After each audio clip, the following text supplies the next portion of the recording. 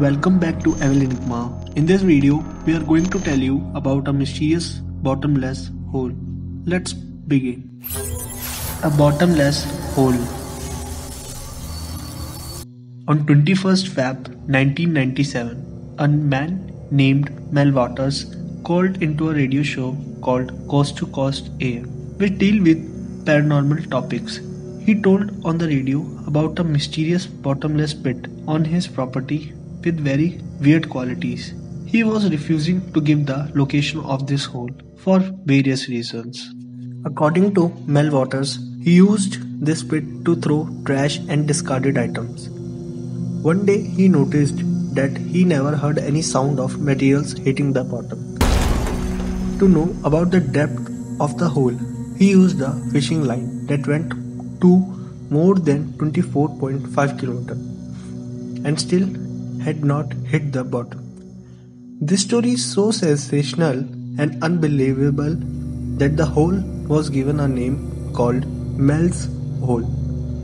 He also told that hole did not produce an echo and one day his neighbor threw a dead pet dog into pit and few days later found his dog alive in the forest. Mel claimed his own dogs are terrified of this hole and refused to go anywhere near it. One day he bought his radio near the pit and it started playing unknown voices. Water appeared on the show in 2000 and told that he once saw a black beam shooting out from the hole. He also stated that if he held metal objects above the pit for some time, they would magically change to other metals. He also said that while walking towards the hole, a man wearing a suit approached him. Behind him are several people in biohazard suits. Man told Water that area is closed due to plane crash and government is leasing the land from him. They paid a generous amount which he used to move to Australia. In 2002, he came to US despite warnings and on the way to Washington, police captured him. Two weeks later, he found himself on the street of San Francisco with needle marks and no memory of the event. He managed to get back to his land, finding mysterious people dressed in black and threatening Waters to leave this place. He was told that the land has been taken under control by the government.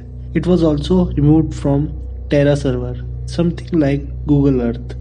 Investigators claimed that there was no person living in this area by the name of Mel Waters. The deepest hole is 40,000 feet, and according to geologists, a hole as deep as 80,000 feet is geologically impossible. Going so deep would cause the hole to collapse from high pressure and heat. Till now, nobody knows the identity of Mel Waters and the location of the hole, if it is present or either some secret service is trying to cover up the whole things. There are number of unexplained and mysterious things going on this world. What do you think about this one? Let us know in the comments and subscribe for more mysterious videos.